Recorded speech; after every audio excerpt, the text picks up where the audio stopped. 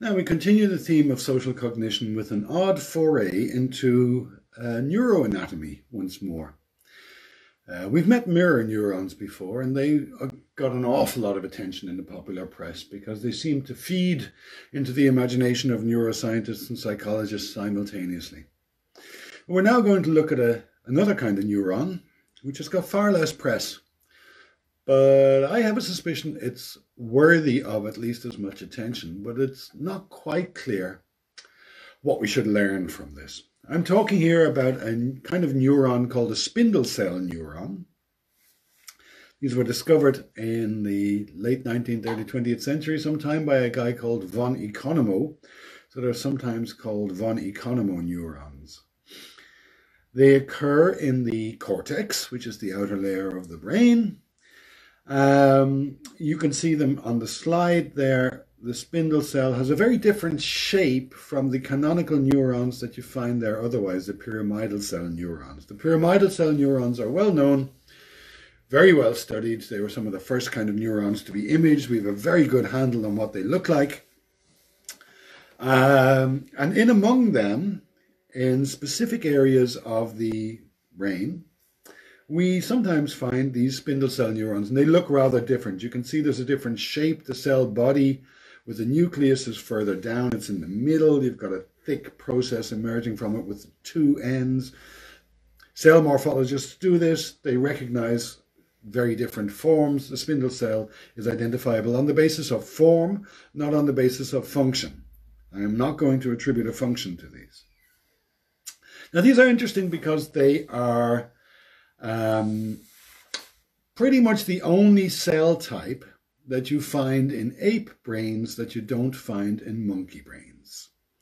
So I mentioned before that you shouldn't confuse apes with monkeys. Apes includes humans, gorillas, orangutans, chimpanzees, and bonobos. And all of these apes have spindle cell neurons to different degrees, and monkeys do not. They are found in the um, frontal cortex. Now, remember, humans have a very large frontal cortex. It's kind of what makes us humans. Um, and spindle cell neurons arise there above the eye in the frontal lobes. And they have different distributions in the five ape types there you can see.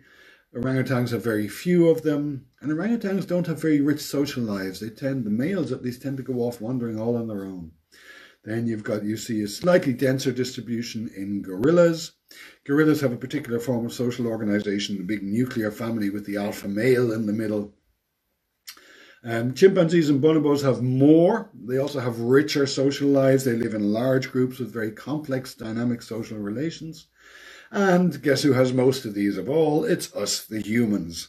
And in humans, you find them bursting out from the area above the eye socket into large regions of the frontal brain. One area they're found in is called the anterior cingulate cortex. Um, historically, very many people have tried to understand the anterior cing cingulate cortex as being important in our the web of social relations that we form. Nobody really knows. It's a bit of the dustbin of neuroscience.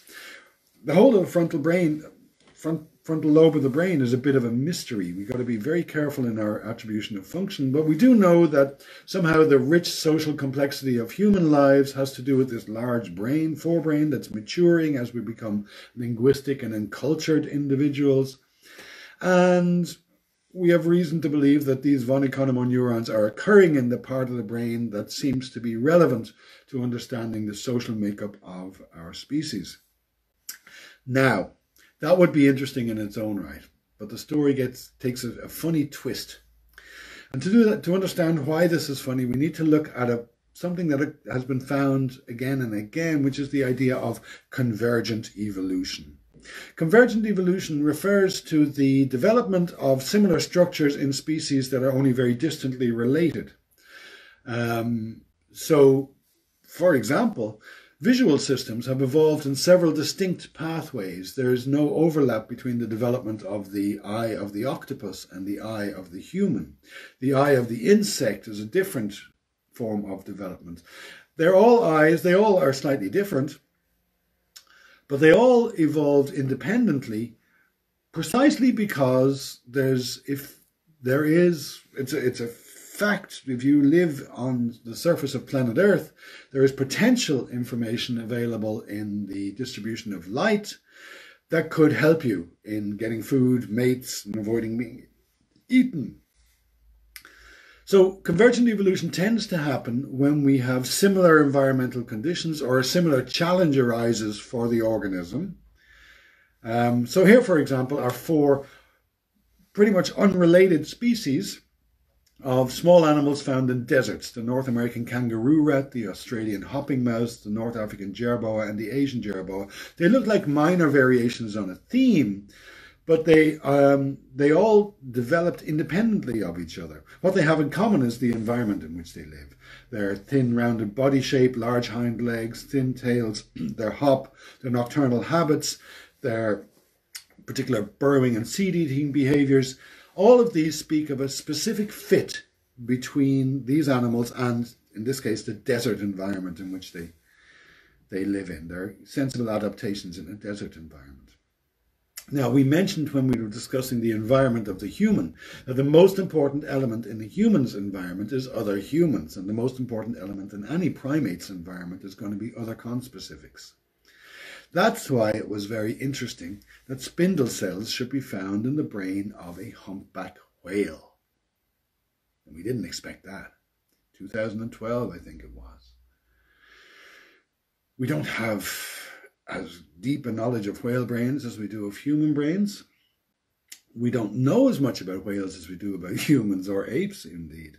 Female humpbacks live very, very social lives. In fact, in the social organization of the humpback whales, the females uh, exhibit great solidarity. They collectively raise groups of calves, and then the calves grow up, and the males tend to go off and be loners, while the females stick around and have these very rich social lives.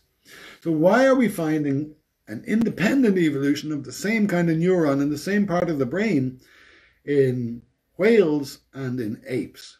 Remember, not found in monkeys, so this is not a the same evolutionary process. This is a process of convergent evolution. The story gets weirder still. They were then found in elephants. Now, elephants are, of course, intensely social animals. We understand them. We are cognitively, we resonate with elephants. We understand them. They show obvious emotion. They care for each other. They have almost uh, um, rituals in the way that they, they assemble the bones of their dead. Um, once more, I'm lacking words, and these insights challenge us profoundly to understand what we have in common with whales and with elephants that we don't have in common with monkeys. Evolution is not all about single lines of descent. And social organization is not, as we saw before when we looked at chimpanzees and bonobos, is not simply a matter of your position in the evolutionary tree. So I want to avoid clearly attributing any specific function to these, but I do know that we are learning something very, very important about our commonalities with other animals uh, and about the role of the nervous system in sustaining specific forms of social organization. So that's a little interesting.